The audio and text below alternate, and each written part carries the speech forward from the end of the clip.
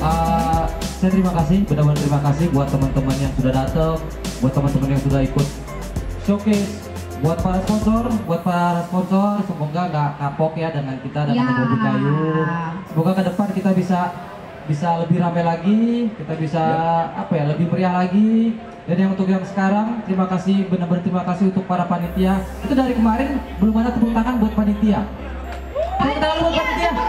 Buat panitia. Iya yang udah menyusun secara seksama ya. Seksama, iya, yang sudah capek-capek begadang. capek-capek gak tidur. Iya. Jadi gini, jadi kita yang sekarang di sini yang di atas ini tidak semuanya bekerja berhubungan dengan kayu. Tidak semuanya uh, memiliki apa ya pekerjaan yang berhubungan dengan kayu. Kita semua berbeda-beda dari latar belakang latar belakang yang berbeda-beda. Kita di sini hobi kayu untuk apa ya? Kenapa kita ambil di sini uh, woodworking as lifestyle? Karena kita semua pengennya, kita pengennya ya semua orang bisa, semua orang tahu woodworking, semua orang apa ya? Bukan jadi sekedar hobi aja. Hobi, passion, bisnis itu kita jadikan satu. Kita di sini semua berbeda, apa ya? Berbeda latar belakang, berbeda keahlian, berbeda pengetahuan. Be- beda beda kelamin juga oke Hah? jenisnya jenisnya jenisnya oke mari kita sama-sama jadikan woodworking ini as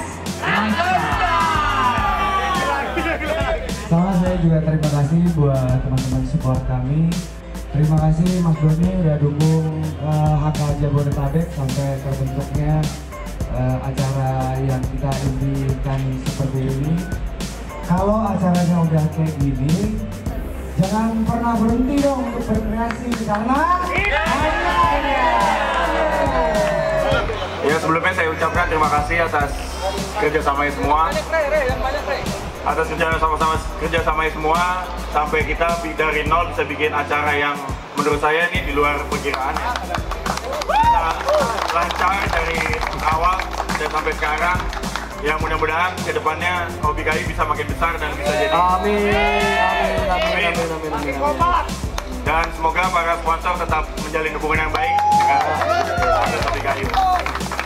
Eh, yang pertama ini, yang yang pertama ya buat kita untuk menjadikan woodworking sebagai lifestyle. Pertama, enjoy the process, nikmati prosesnya. Yang yang pertama. Yang kedua, apa ya? eh, kita mesti bangga terhadap hasil karya kita. Yang ketiga nanti kalau sudah itu bisa, nanti orang lain akan menghargai proyek. Buat teman-teman yang lain, jangan lupa untuk terus berkarya dan sampai jumpa di 2018.